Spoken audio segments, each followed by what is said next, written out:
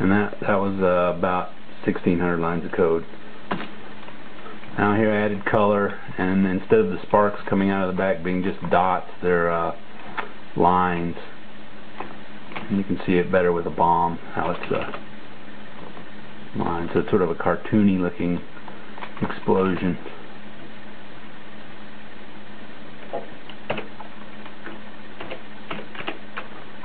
I remember how to operate the thing. Uh, next thing I added was uh, these little laser guns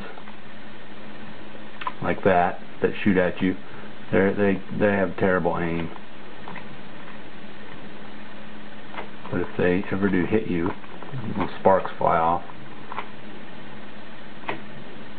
And they'll eventually kill you.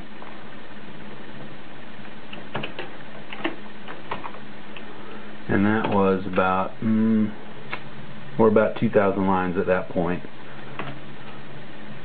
And then uh, next thing I did, I made the flat, the little laser guns. Uh, they aim a little better, slightly better. You see some of them.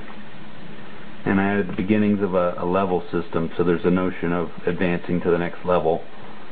So that so they aim a, slightly better in that they they slightly lead you based on your speed, but they still don't do very well. And that was roughly the same amount of code. Well, no, there's about a hundred more lines for the level stuff, but you can really tell from looking at it. Um, here I added, uh, I called the game Descrambler at this point. It was kind of a